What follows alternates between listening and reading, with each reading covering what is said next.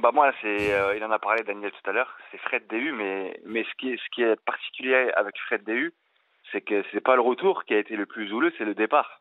Si on se souvient bien, ça s'est passé la finale de Coupe de France, Stade de France, PSG Châteauroux. Ouais, Euh, les supporters apprennent, apprennent avant que, qu'il avait signé Mm. pour, pour, le PSG, euh, pour l'Olympique de Marseille.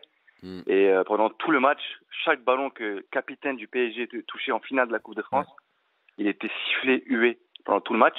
Et chose encore plus originale, c'est qu'en portant le trophée, il se faisait insulter par les Et, et supporters. il s'est mis à pleurer. Il s'est mis à pleurer. Et on se souvient, c'est un peu cocasse parce qu'on se souvient qu'il y avait, il y avait aussi Fiorez et Lorik Sona qui défendaient DU auprès des supporters. Ne l'insultez pas. Comme par hasard. Ils ont fait la même chose quelques mois ou quelques années plus tard. C'était, super cocasse. Mais euh, Fred DU, c'était, vraiment, je pense, c'était le plus marquant parce que, parce que c'était le capitaine déjà. Et, euh, et en plus, euh, il avait attendu une prolongation de la part du PSG qui n'avait pas, pas été du niveau de ses attentes. Donc il s'est dit, je vais aller à Marseille. Donc c'était un petit peu euh, une petite vengeance personnelle de la part du joueur envers le club. Donc les supporters l'ont, mal pris pour ça également. Timothée, je peux poser une question à Bilal? Euh, bah, euh, Oui. Vas-y, c'est ton émission. Euh, Bilal, parce que souvent, souvent, tu sais, on, bah, dans, les, dans les médias, on en fait toujours des caisses euh, sur, sur tout et, et n'importe quoi. Euh, toi, toi, tu es un, t'es un supporter, tu es supporter du PSG Oui, oui, exact. Euh, moi, j'aimerais avoir l'avis d'un, d'un, d'un vrai supporter, pas d'un, pas d'un fin labraque, mais d'un vrai supporter. Quand toi, si jamais aujourd'hui, euh, je sais pas, euh, dans l'équipe du PSG, bon, alors ça serait peut-être rare de nos jours, mais si tu avais un joueur du PSG qui partait à Marseille, alors que, alors qu'il avait défendu les couleurs pendant plusieurs années, comment toi tu aborderais son retour? Bah, euh, je- moi, aujourd'hui, ça a beaucoup changé en fait. C'est plus comme avant. On a l'impression que c'est, c'est-à-dire que les joueurs ils sont de moins en moins attachés, au club.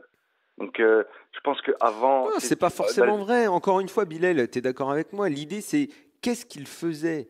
Si le mec ne t'était jamais prononcé et tout, mais si le mec, à chaque conférence de presse, il en faisait des caisses pour dire euh, Ouais, euh, euh, moi, j'aime pas l'OM, euh, j'ai jamais aimé l'OM, euh, et puis après, tu te retrouves à jouer dans le club le là-bas. Ben, en, fait, en fait, là, tu pas. Tu, tu sais- voilà, par exemple, Kipembe, bah, bon, maintenant, il va pas aller à, il va pas aller à l'OM, mais à l'époque où Non, les mais deux si clubs jamais étaient dans la ah, même catégorie. extrapolons, Le, extrapolons, le- le si fait d'y aller, c'est à la limite pas tant ça qui est délirant. C'est pas le fait d'y aller. C'est le fait de si avant, t'as sans arrêt chié sur l'autre en, en faisant les gros bras et en disant moi je suis parisien à mort, moi je, ou je suis marseillais à mort et je me retrouve à jouer là-bas. Voilà, tu passes pour un con, mais tu passes pour un con Ça auprès dépend. des deux.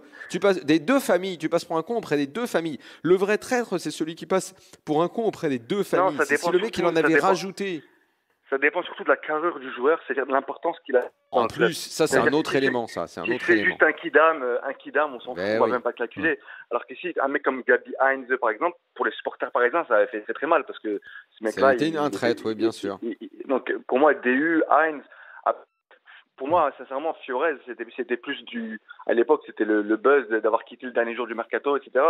Mais c'était moins douloureux entre guillemets qu'un Fred DU ou un Gabi Heinz ou euh, ou je sais pas, par exemple, euh, il y a des joueurs qui, qui par exemple, euh, si tu regardes. euh, Il y en a un Italie, paquet qui avait exemple, fait ça. hein. Jérôme Leroy avait fait ça aussi. euh, et il était même revenu lui au PSG. En Italie, l'un des exemples les plus fous, c'était c'était Baggio de Florence à la Juve. Et On, Florence on et la va, Juve, on va il y venir en Italie. On, sera avec nos drôles de dames tout à l'heure.